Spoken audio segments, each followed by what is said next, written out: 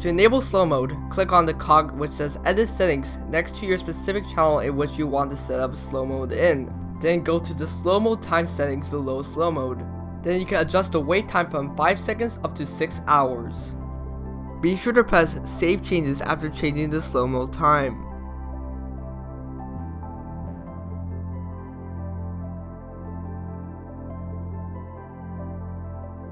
When you're done, press escape.